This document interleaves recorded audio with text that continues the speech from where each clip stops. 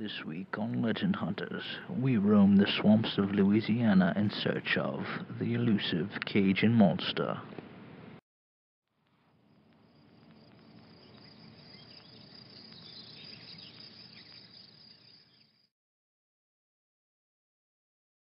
As our canoe worked its way along the narrow river channel, it was quite easy to imagine a beast lurking just beyond the timberline.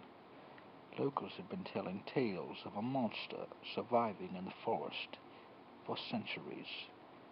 With any luck, we would be the first to capture it on film.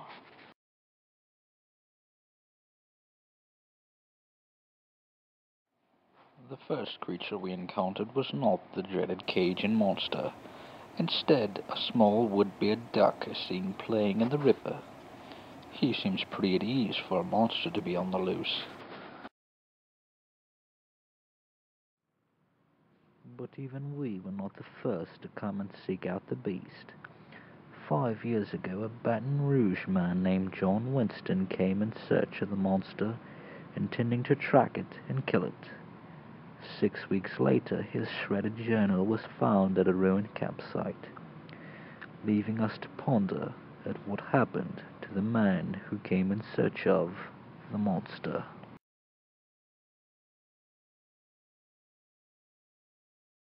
I kept hearing sounds all through the night, but every time I went to investigate, I found not a sight nor track of whatever it was.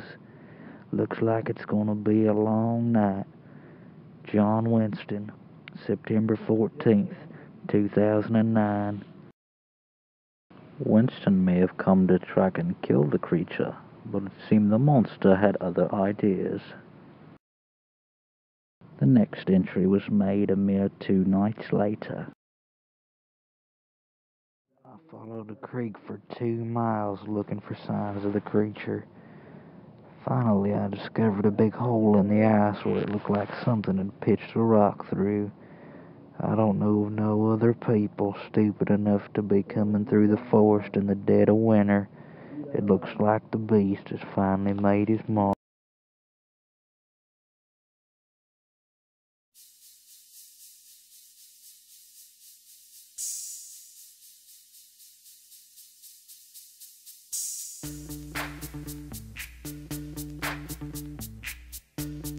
VIP.